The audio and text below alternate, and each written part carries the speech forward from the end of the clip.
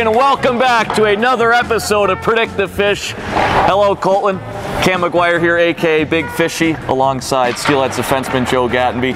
Joe, you look a little puzzled here. You've, you've, I don't know if you've ever even seen this. You walked out, saw me in the suit, and you're like, oh, geez. I love it. I love it. Everyone knows the routine by now. This is our first goal challenge.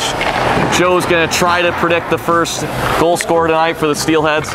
I will do the same. I'm a pretty nice fella, so who do you got to score first? Yeah, well, my, my roommate, Mastrodonato, we were working on shooting before the accuracy shooting this week Yeah, in that's skills true. comp, and uh, he looked pretty good there. so right.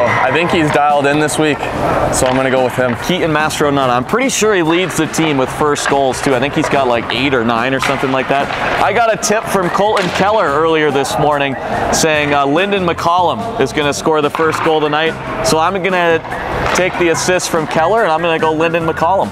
I like that. All right, Keaton I like. Mastrodonato, Lynden McCallum. The bet on the line here tonight, it's our standard one. If I lose, I'll wear this on TV tomorrow.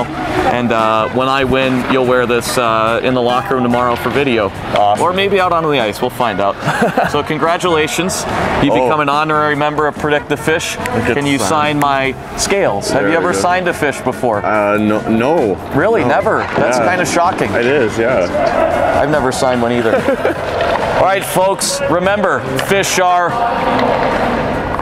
Friends, not food. not food. There you go. Yeah.